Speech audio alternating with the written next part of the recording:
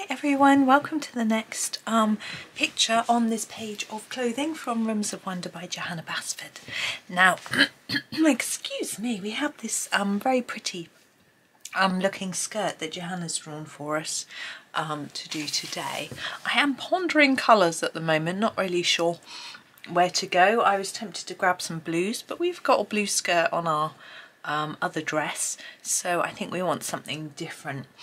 I'm thinking maybe we'll start with a really delicate pink and then sort of build up from there. So my lightest pink is this rose pink and I think let's just move you to the middle just a tad. There we go. I'm going to do over most of the skirt with the rose pink and then just a delicate layer and then I can start to think about what to do. Now I'm not sure if this is a belt here or just a pretty sort of decorative buckle. So I'm going to colour it in the pink. now we seem to have panels here. So I'm wondering whether they might be different colours, but I don't know. I'd quite like to do it all pink, apart from these this line, which is obviously a sort of definite stripe, which I thought I would match with the one up there. But I sort of quite like the idea of the rest being quite pink. So I'm going to just go over in a light pink as I sort of clarify my thoughts really. I mean you get, I think some people would wait, think and then start colouring but I'm just too impatient for that. I just want to get stuck in. I'm quite anxious to colour today because anxious, it's not the right word. Um, I want to get on with colouring today then because I haven't done much yet. I made one video where I reviewed some new pencils, which was great fun. But um, I'm going to pop this pencil aside, grab a slightly darker one. Sorry for coughing.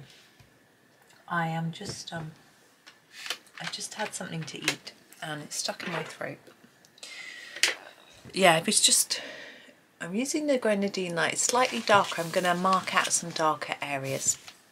So I think certainly to start with on the edge of here and then I'll go from there. yeah, anyway, I was testing out some pencils, so although I coloured um, using them, it wasn't quite the same.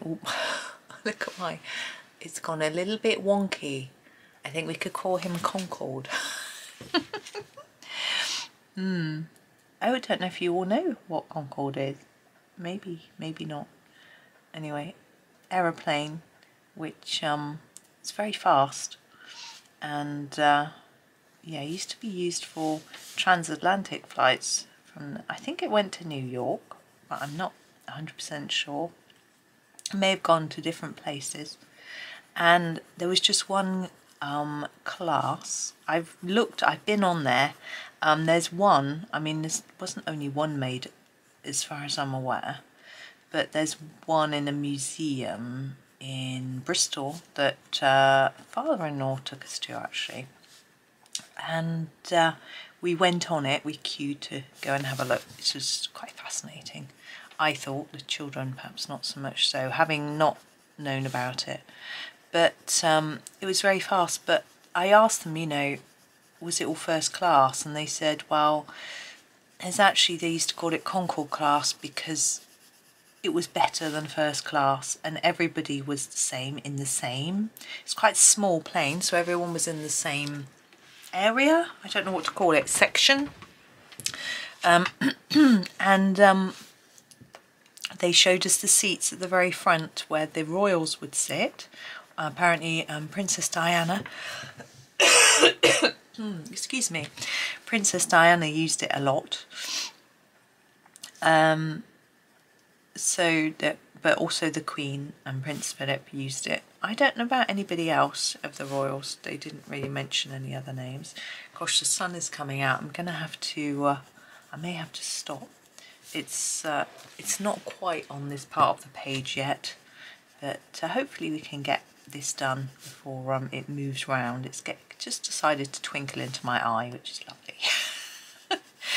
anyway, um, so I find it quite fascinating and uh, they always serve champagne and you know the food was on proper china plates not like um, you know the economy class that we're probably all used to. Although I haven't flown for such a long time. It's just... I feel like there's a lot of places in the UK I haven't yet explored that I'd like to explore before I fly. I feel like flying is very extravagant, um, both cost-wise, obviously, but also for the environment.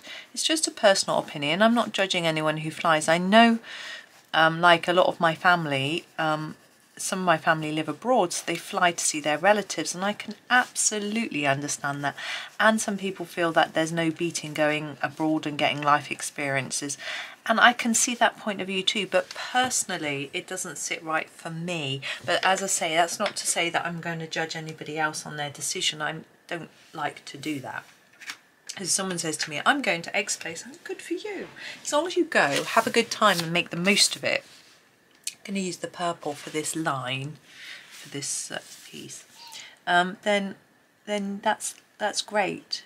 You know, if you go and don't enjoy it, and you know, then that's I don't that's not good. Obviously, but then you probably couldn't predict that before you went. If you were dreading it and didn't want to go, then don't go. But uh, anyway.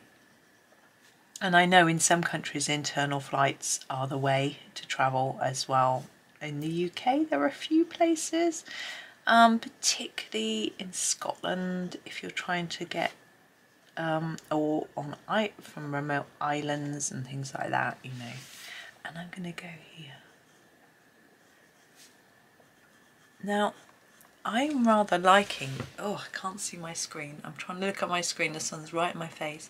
I'm rather liking how delicate the pink is on this skirt. Sorry, I've got to grab my hanky. I have I haven't forgotten that buckle. We're not it's not going to be pink. So um I'm sort of keen not to do much more with it. I am going to add another layer of the light pink, I think but I don't want to overdo it. I want to keep it looking light. So I'm going back to my rose pink and I'm just going to re-emphasize those areas on the edges that I want darker, like that. And then take the colour towards the middle a bit, but I don't want it too dark. So that's really perhaps a little bit darker than I'd hoped. But anyway, I shall match it up now you could leave yours a bit lighter if you preferred. I think just a little bit there. Wasn't quite sure how to do this middle one. I was just reading the news. It's not the best thing to do. But I was actually, um, I don't. What I do is I tend to look at the headlines and then read things that aren't too depressing. I was actually reading about heat pump heat pumps. Apparently they're used quite effectively in other countries, but we don't really use them very much here, and the government are trying to incentivise people to use them. However, I did look into it. We've just recently had a new boiler, and the boiler these are for um, hot water and heating in the house. Um, for those of you I know in uh, America, for example, you have different names for these sorts of devices. So what our boiler does is it heats the water on demand when you want it. So if, when you're having your showers or washing your hands or washing up whatever you might be doing, it heats it up and um, that's great. And it also does the central heating, so heats all the radiators.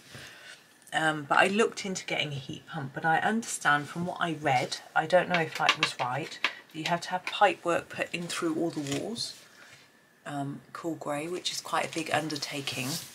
And um, it's quite expensive to run.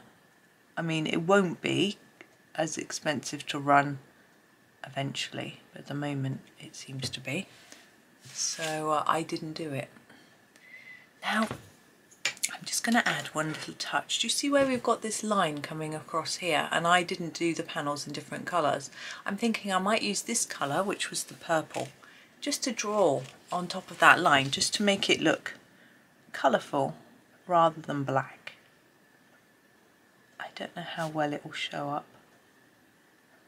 I'm just going to do my best there, just to add a little colour. But yes and also you need very good insulation which we don't have. Um, it's uh, our house is very drafty. And uh, we try to um, I'm just doing a tiny bit of shadowing there insulate but um, we haven't had much success. I just want to emphasize the shadow in the gathers on the skirt and that'll be the end. It's just not suitable for all housing the way our houses are built I think. And apparently sometimes you need bigger radiators, you need a water tank which we don't have space for because our houses weren't built with one in. So you know it just didn't quite work for us but we might have to get one eventually. We'll see but there's my pink skirt. I would never, ever, ever dream of wearing a skirt like that, but I do think it looks quite pretty. it's just not my thing. I wear, I'm a jeans girl. I just wear my jeans. Sometimes leggings. If I wear a skirt, it's it's uh, corduroy with leggings under.